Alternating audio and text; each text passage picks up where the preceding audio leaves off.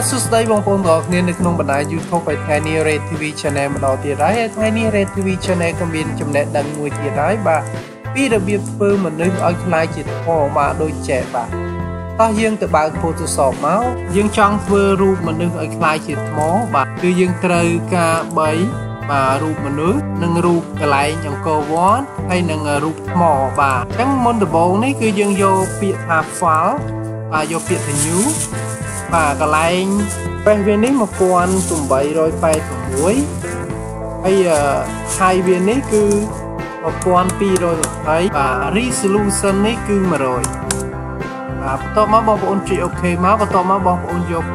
រូបយកមកបាទបន្ទាប់មកបងប្អូនចុចយករូបមនុស្សបាទបាទបន្ទាប់មកបងប្អូនចុច Control Search ហើយអក្សរ U បាទ Control Search អក្សរ U បាទបន្ទាប់មកបងប្អូនចុច អក្សរ V តបមកទាញវាបាទទាញវាយកទៅបាទទាញវាយកទៅដាក់បាទដាក់នៅកន្លែងនេះបាទបងមកយើងបរិយវាយើង control អក្សរ T បាទបរិយវាយើងមកបាទបងប្អូន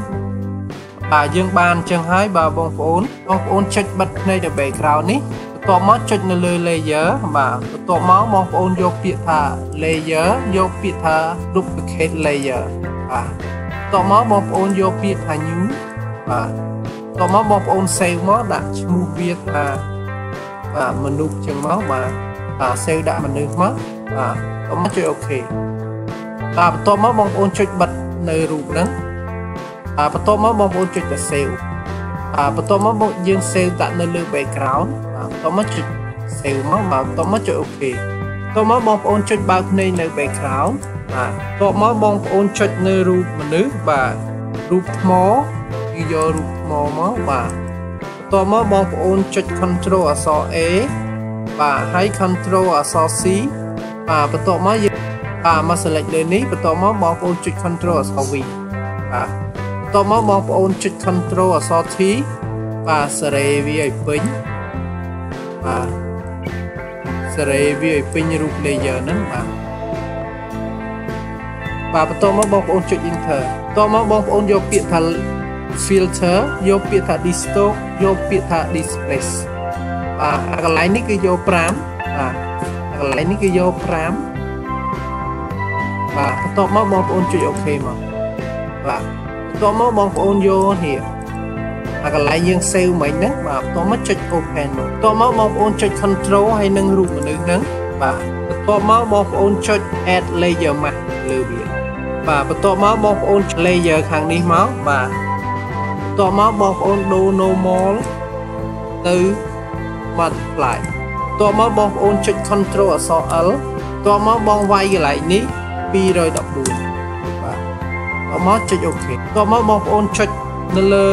layer ចុច control អក្សរ L មួយទៀតបន្ទាប់មកកន្លែងនេះបងប្អូនវាយវាបាទ215បាទបន្ទាប់មកចុច OK បន្ទាប់មកបងប្អូនយកពាក្យថាបងប្អូនចុចនៅលើ layer ហ្នឹងបាទយក brush tool បាទសាយវានេះគឺ45បាទហើយ opacity វានេះគឺ40បាទបន្ទាប់មកបងប្អូនចុច បាទចុច control លេខបូកបាទឲ្យវាធំបន្តិចបន្ទាប់មកបងប្អូនចុចវាគូវានៅលើ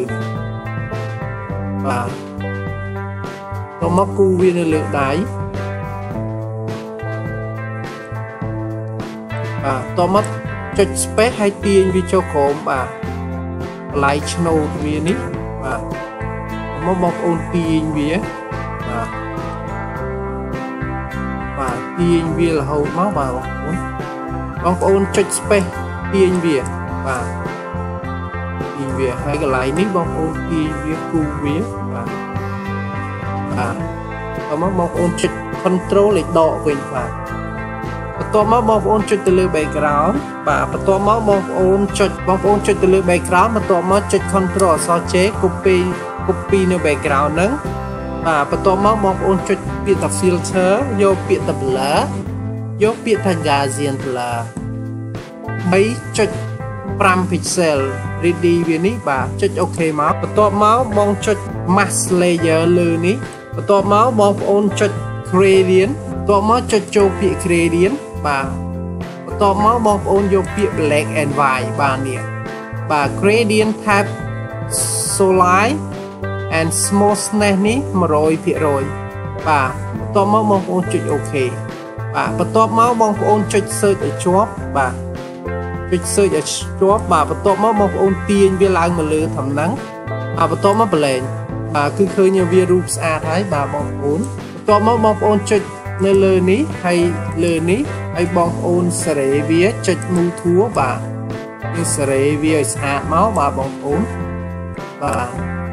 នេះគឺរូបថ្មបានហើយបាទបងប្អូន